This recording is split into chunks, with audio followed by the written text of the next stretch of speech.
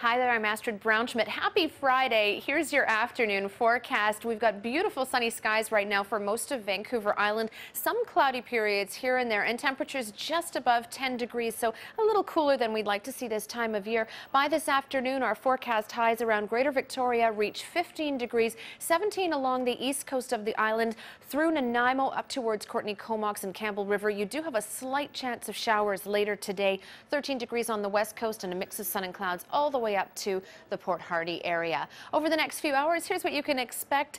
Periods of uh, sunshine, some clouds. That mix continues 2 and 3 o'clock this afternoon. Our UV index is 7 or high. Later in the afternoon, though, through Victoria, we will notice those clouds starting to clear. I'll have your full forecast coming up on CTV News at 5.